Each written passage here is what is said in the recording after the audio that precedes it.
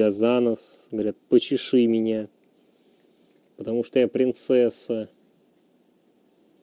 Ты ее чешешь, потому что она от тебя не отстанет. Потом она приходит, начинает разговаривать с тобой. Садится к тебе на ноутбук, потому что ноутбук теплый. И не важно, что ты пишешь в чат, потому что он теплый. Но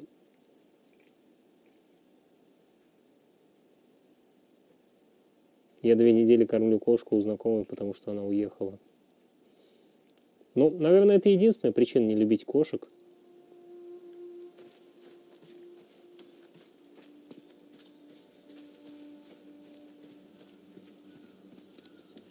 Он бессердечный.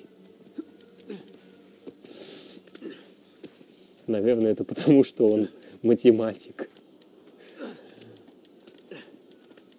Нет.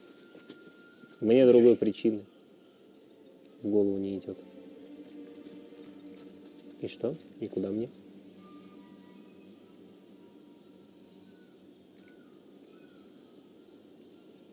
Только я его захватываю в плен, он соглашается,